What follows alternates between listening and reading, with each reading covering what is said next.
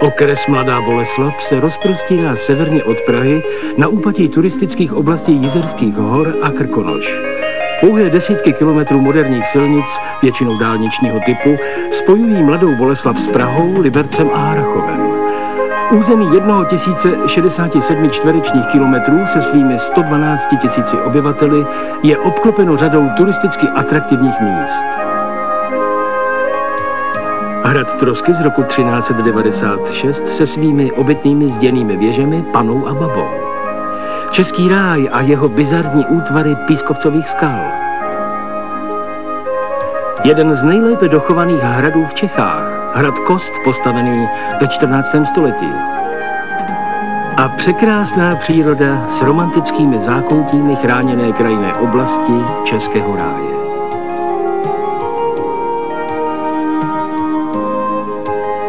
A také jeden z nejkrásnějších českých hradů, hrad Bezděs, vybudovaný ve 13. století králem Přemyslem Otakarem II.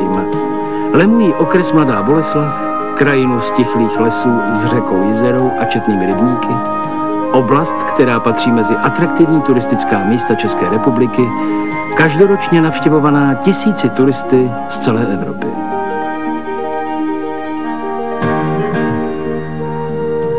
Centrem okresu je Mladá Boleslav. Město založené v roce 1334 na místě dřívějšího slovanského hradiště, dnes jedno z důležitých hospodářských center země. Přímo na náměstí každého uvítá renesanční radnice, dostavěná v roce 1559, dnes sídlo okresního úřadu.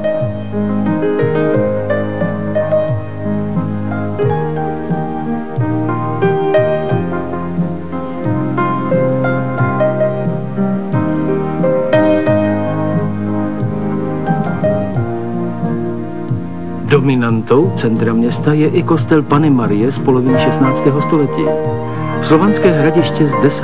století, později přeměněné na hrad, se dnes stalo sídlem státního okresního archivu a okresního muzea, které ve svých stálých expozicích seznamuje návštěvníky nejen z historií, ale i s kulturními a lidovými tradicemi okresu.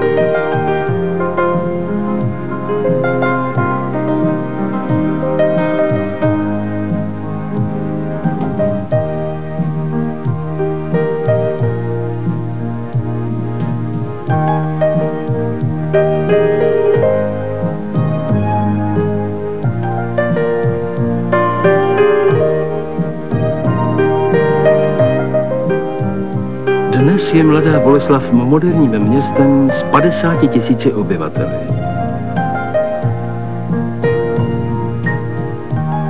Pro své občany je město hospodářským a kulturním centrem. Každý tu najde nejen pracovní příležitosti, ale i bohaté kulturní vyžití.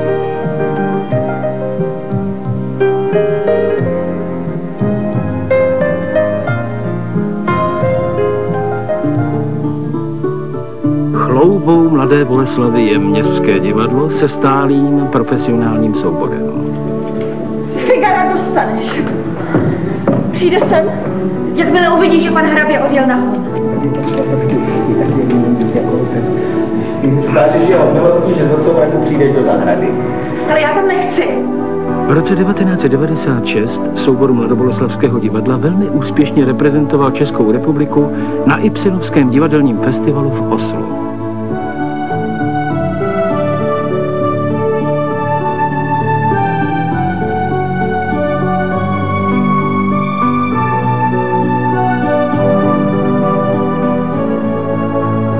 Nejkrásnějším dochovaným městským palácům patří tento dům z konce 15. století, známý jako templ, podle pověsti postavený pro řád templářů. Dnes je tu výstavní síň.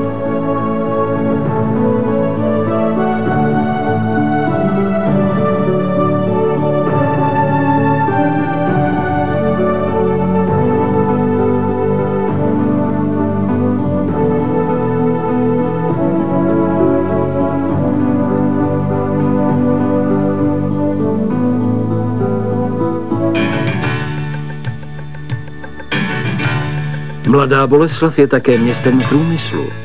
V nejmodernější automobilové továrně na světě se tu vyrábějí světoznámé vozy Škoda, Felicie a Octavia.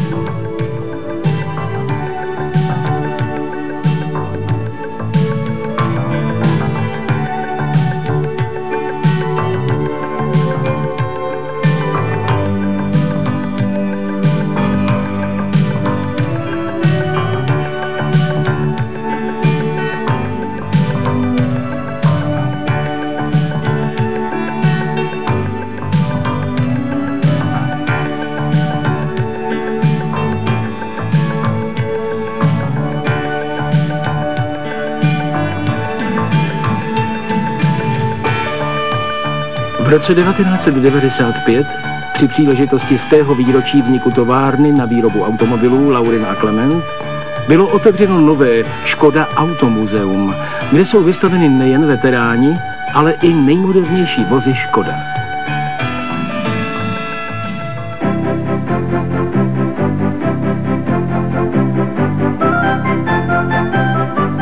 Město Mladá Boleslav je připraveno uvítat své návštěvníky v řadě příjemných hotelů a penzionů. Každý si zde může najít ubytování podle svých nároků a představ.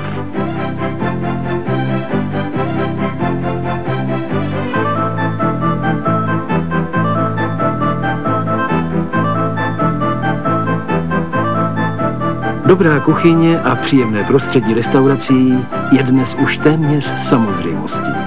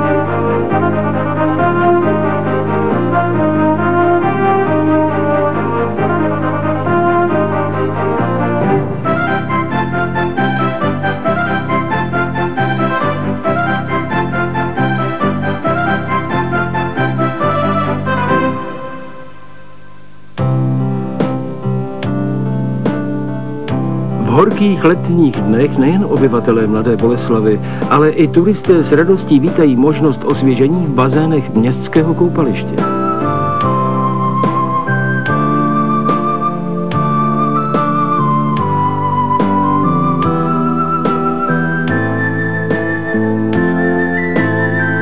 Nedaleko Mladé Boleslavy, ve městě Kosmonosy, se nachází skvost barokní architektury, kaple Loreta, vystavěná začátkem 18. století.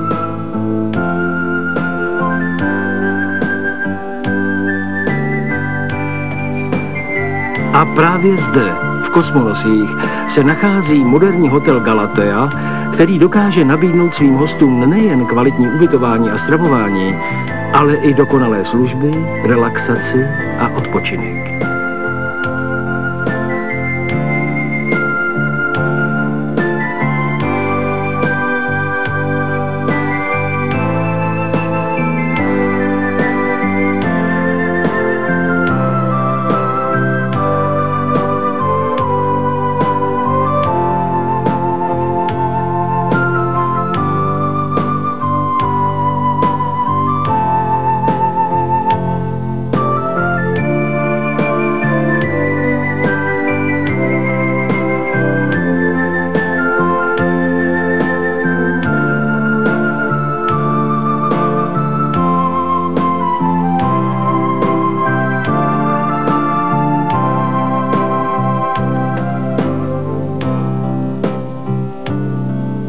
Vyhledávaným místem v kosmonosích je také autokemping, kam se sjíždějí turisté z celé Evropy.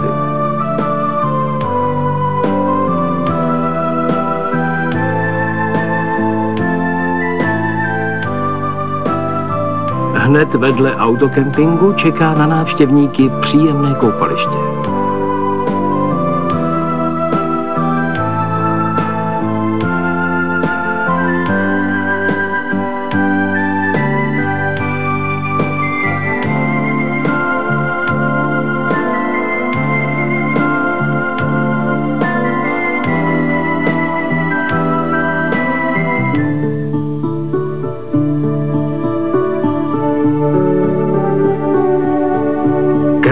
Okresu Mladá Boleslav dokáže nabídnout svým návštěvníkům nejen nádherné přírodní scenérie, ale i malebné vesnice a půvabná městečka. Jedním z nich je Dobrovice.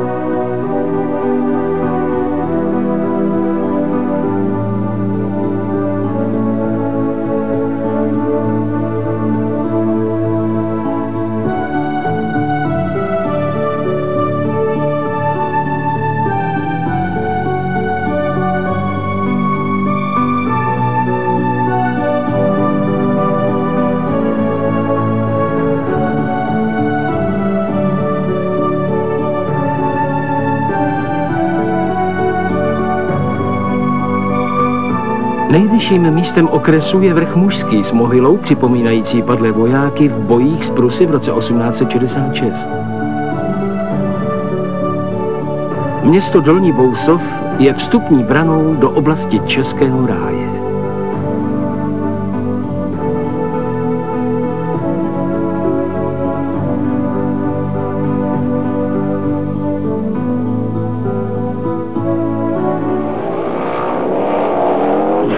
Dolní Bousov je však populární také svými proslulými mezinárodními závody v autokrosu.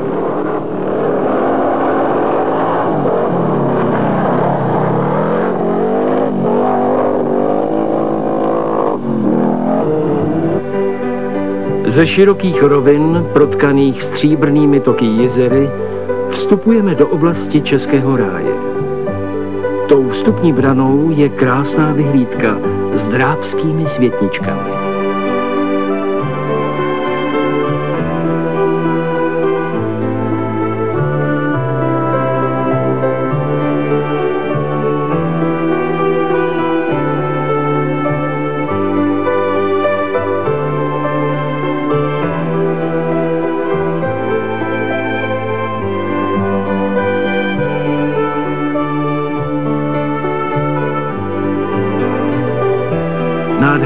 Příroda s pískovcovými skalami zde pro návštěvníky kraje připravila nezapomenutelnou scenérii, která se stala vyhledávaným místem všech milovníků přírody.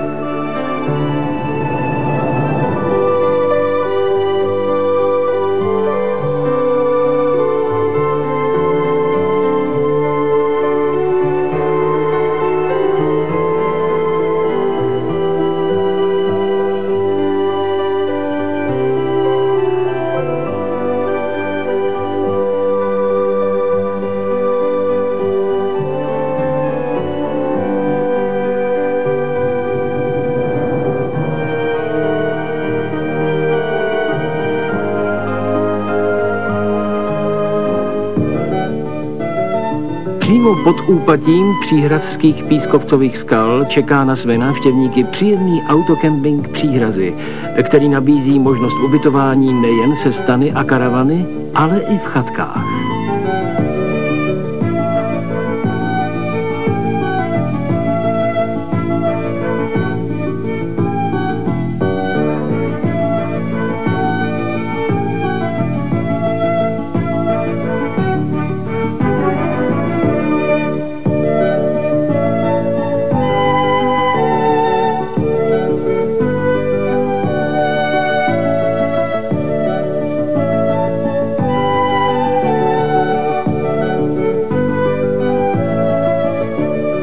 Vodní plocha nedalekého jezera v Branžeži každé léto přiláká tisíce turistů, kteří zde tráví příjemnou dovolenou.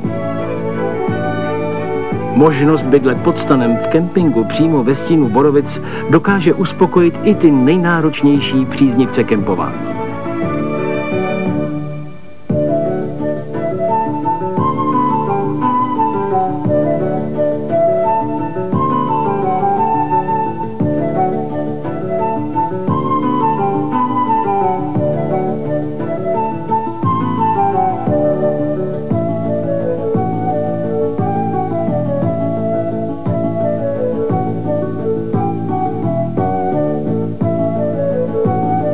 Ty, kteří nemají stan, je připraveno ubytování v místním hotelu.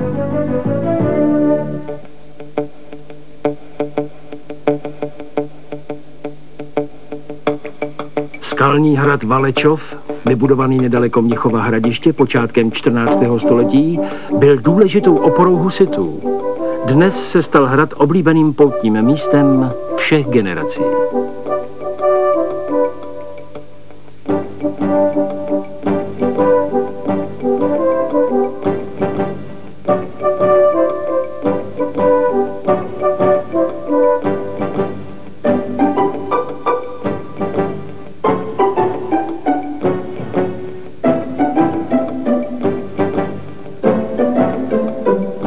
Město Mnichovo hradiště bylo založeno v polovině 13. století mnichy z nedalekého cisterciáckého kláštera Hradiště.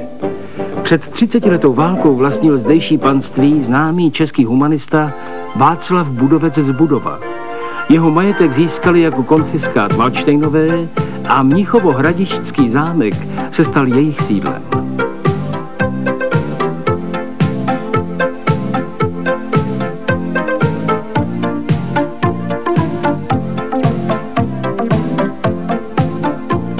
Kostele svatých tří králů s nádherně zdobenou kaplí svaté Anny se nachází lapidárium barokních soch z okolí.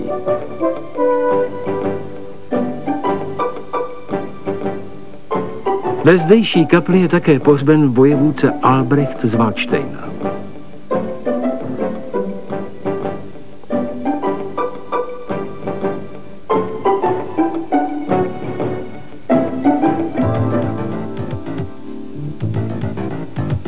Mnichovo hradiště je městem automobilů. V závodě Škoda Lias se tu vyrábějí nejmodernější modely nákladních vozů.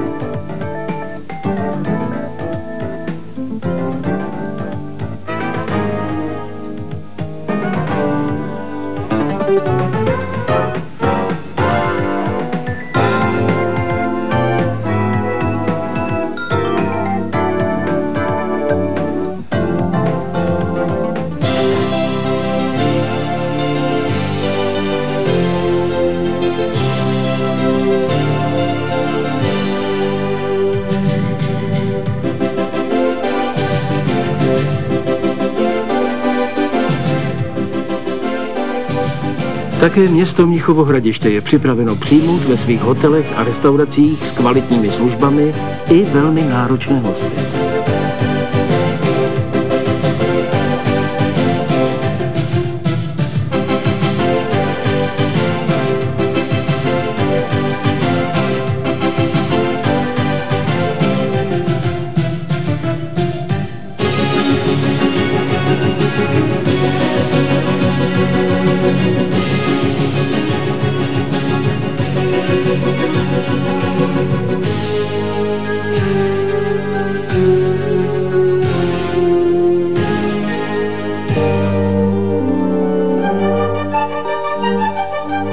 Okolí Mnichova hradiště jsou v mnoha vesnicích zachovány poklady lidové architektury, která je typická pro tento kraj. Malebná zákoutí vesnic sevřených v náručí překrásné přírody patří k nezapomenutelným scenériím mladoboloslavského okresu.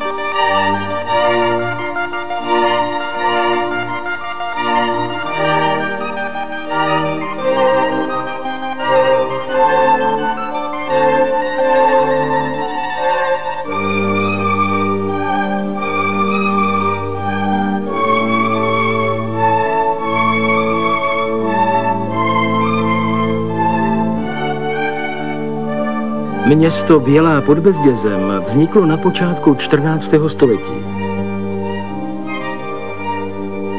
Zdejší náměstí, dnes upravené na krásný park, patří mezi největší náměstí v Čechách.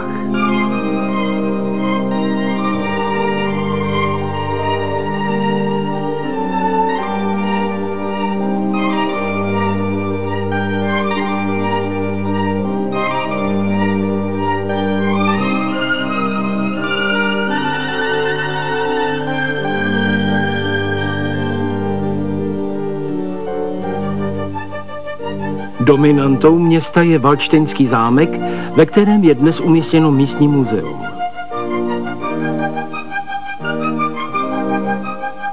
I zde čeká na návštěvníky města řada restaurací.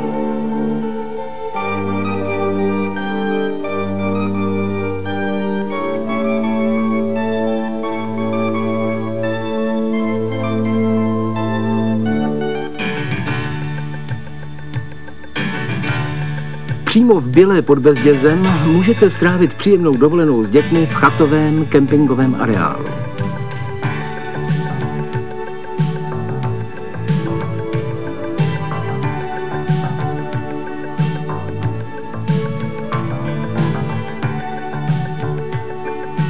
V letních měsících je pro děti i dospělé k dispozici areál nádherného přírodního koupaliště.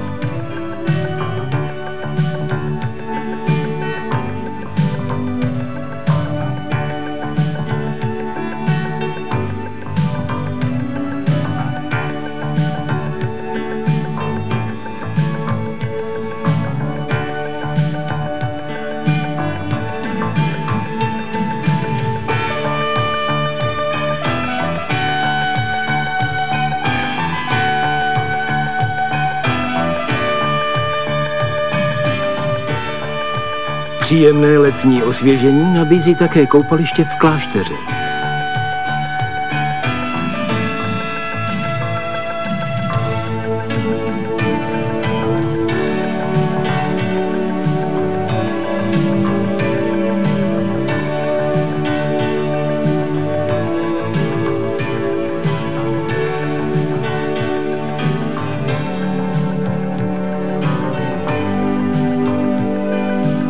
Místem letních radovánek je samozřejmě také řeka Jizera, která protéká celým mladoboleslavským okresem.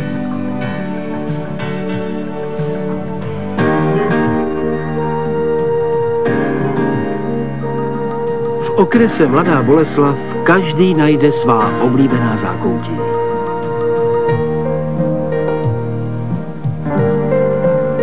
Uprostřed lesů mezi Mnichovým hradištěm a Bakovem nechala hraběnka Marie Markéta z Valčtejna ve 20. letech 18. století postavit nad pramenem údajně léčivé vody kapli zasvěcenou svatému Stapinovi.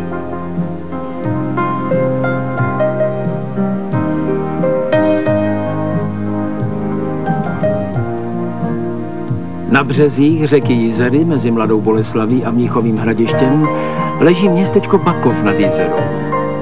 Slavné sousoší nejsvětější trojice bylo vytvořeno počátkem 18. století Josefem Jelínkem.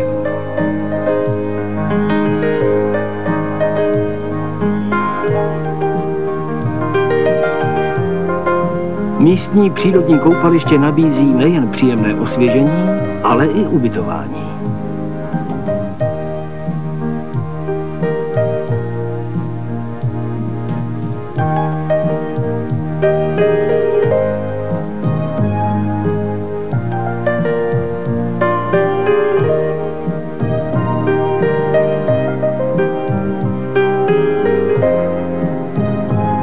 Poblíž Bakova nad Jizerou stojí zříceniny hradu Zvířetice ze 13. století. V celém okrese najdete řadu míst k letnímu koupání. Mezi ně patří také koupaliště pouco venda.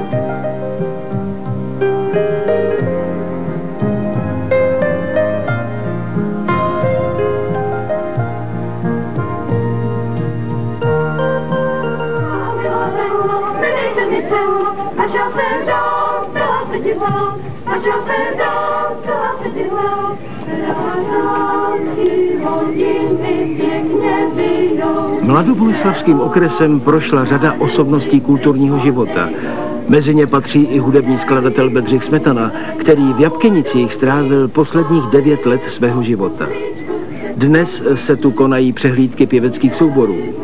Myslivna, kde skladatel žil, se přeměnila v muzeum Bedřicha Smetany.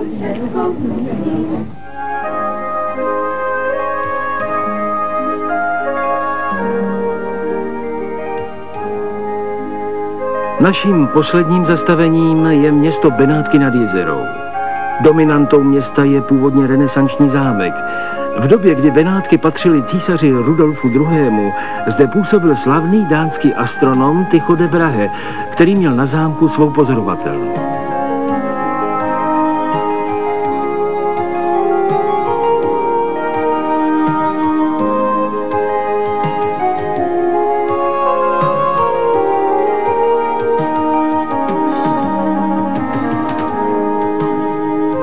Okres Mladá Boleslav nabízí každému skvělé podmínky pro ideální dovolenou a aktivní odpočinek.